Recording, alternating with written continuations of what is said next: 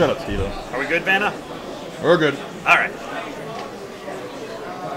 All right, so now I'm here with Art. He is the judge. Are you the head judge? Head judge. Uh, he is the head judge for the Magic the Gathering tournament at the West Michigan Gaming Convention.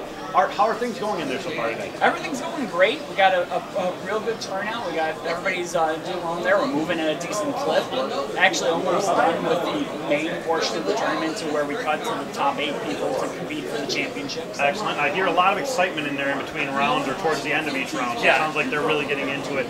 Um, have you noticed anything, uh, any particular deck style that's really prevailing, that's kind of moving, floating towards the top a little bit more?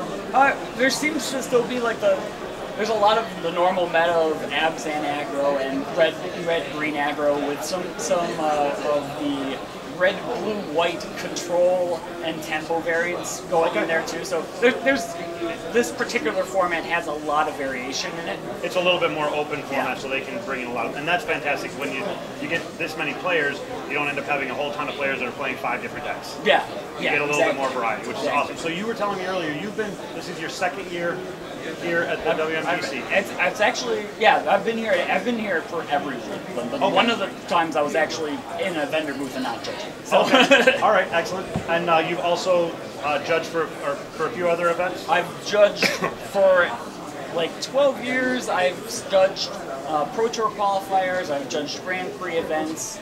I've judged Star City Opens.